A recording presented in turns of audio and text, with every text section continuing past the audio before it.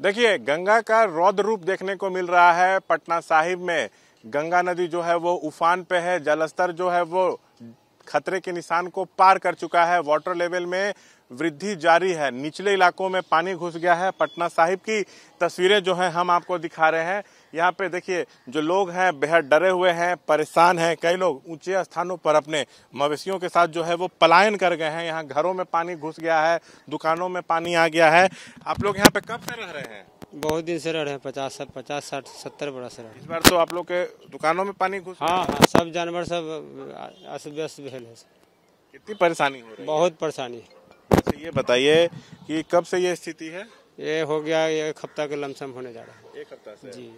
अभी कमी नहीं आ रही है? कमी थोड़ा सा आया है लेकिन उससे कोई फ़र्क नहीं पड़ती।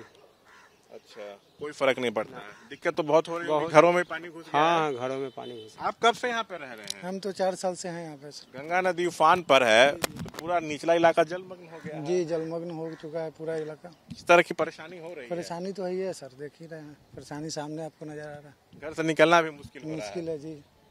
और मतलब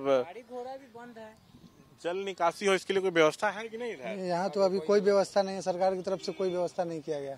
न कोई देखने वाला है न यहाँ कोई आने वाला है। मुख्यमंत्री जी भी आए तो ऊपर से चले गए। आए पुल पर देखे और वहीं से चले गए। यहाँ नीचे में आए सर्वे करके चले चले गए। बस नीचे कोई नहीं। मतलब जल निकासी की कोई व्यवस्था नहीं है ना कोई अधिकारी है। कोई व्यवस्था नहीं हुआ है। क्या करते हैं? हम लोग हम मजदूरी कर रहे हैं। आने जाने में तो बहुत दिक्कत बहुत दिक्कत बहुत दिक्कत है। नाव की व्यवस्था भी नहीं जी नहीं नाव की व्यवस्था भी नहीं हुई है। तो घरों में पानी घुस गया गया है हाँ बहुत लोग भगवान भरोसे छोड़ दिया गया है जी हाँ भगवान भरोसे छोड़ दिया गया है कि पानी का स्तर निकालने का कोई संभावना नहीं है। क्या चाहते हैं? पानी निकलना चाहिए संभावना यही होना चाहिए। सरकार से यही उम्मीद है कि पानी को निकास के लिए प्रोग्रेस किया जाए व्यवस्था किया जाए से रह रहे हैं यहाँ पे? यहाँ पे कम से कम पंद्रह साल से रह रहे ऐसा पहले कब देखने को मिला था? हैं 2016 में मिला था। उसके बाद ये स्थिति हाँ, है। ये स्थिति हुई है। आपको कहीं जाना पड़ता होगा काम पे या कुछ सामान वगैरह लाने तो बहुत दिक्कत होती है बहुत ज़्यादा बहुत ज़्यादा। घर में ही पानी घुसा हुआ है। पूरा घर पानी डूबा हुआ है घर में पानी। पर जाके देखिए ना। ऊँचे स्थानों पर कहीं आप लोग को ले जाया नहीं गया? नहीं। नहीं नहीं कोई व्यवस्था नहीं सरकार से। जो भी लोग हैं खुद से गए अपना व्यवस्था कर रहे हैं ऊँचे स्थानों पर रह रहे हैं। जब यहाँ पे पानी कम होगा तो फिर लोग वापस क्या करेंगे? वही तो व्यवस्था है। ये स्थिति जो है वो यहाँ पे है।